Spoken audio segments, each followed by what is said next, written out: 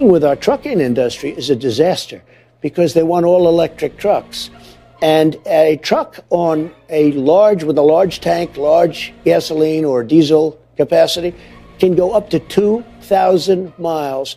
An electric truck goes 300 miles. So what are these guys going to do? They're going to they're going to stop every 300 miles and recharge their truck and spend three hours.